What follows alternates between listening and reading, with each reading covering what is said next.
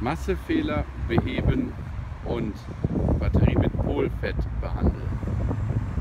Peugeot 205.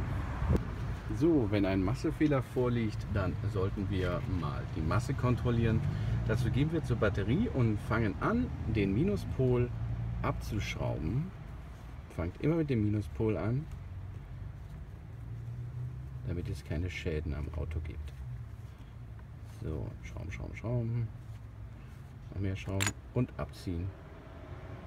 Wenden wir uns nun den Pluspol zu. Dazu benutzen wir eine kleine Ratsche mit einer 10 mm Nuss und fangen an, den Pluspol zu lösen. So, ein Stück lösen reicht, dann können wir auch diesen Pluspol abziehen. Ab ist er. Legen wir alles zur Seite, damit die Pole frei zugänglich sind. Jetzt sprühen wir etwas Bremsenreiniger auf ein Baumwolltuch. So, jetzt reinigen wir erstmal die Pole. Die sollen nämlich wieder rein, metallrein sein. Auch den Pluspol nicht vergessen. Sehr schön. Nun reinigen wir auch noch die Aufnahme des Minuspols. Damit wir auch eine, vergesst nicht drinne, alles schön sauber machen. Schön. Nun gehen wir auch zum Pluspolhalter, zur Klemme, säubern diese auch, damit alles wieder vernünftig leiten kann.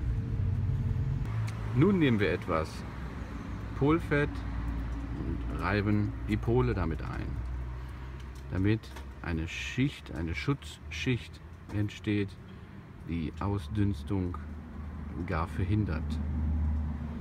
Superb. So, das gleiche machen wir jetzt natürlich auch im Pluspol. So. Das wird heutzutage aus ästhetischer Sicht nicht mehr gemacht, hat aber immer noch eine Bewandtnis, auch wenn die Batterien heutzutage nicht mehr so viel auspupsen. Nun klemmen wir die Batterie wieder an. Wir fangen an mit dem Pluspol und schieben unsere Klemme drauf, bis sie ganz unten ist. Nehmen unsere Ratsche und ziehen die Klemme fest. Durch das Festziehen der Klemme wird, der, ähm, wird das Polfett, was zwischen den Klemmen ist, herausgedrückt und eine metallische Verbindung wird wieder gewährleistet. Kommen wir zum Minus- bzw. Massekabel. Dies werden wir jetzt am Schluss drauf stecken und auch wieder verbinden. So, damit ist die Batterie wieder einsatzbereit.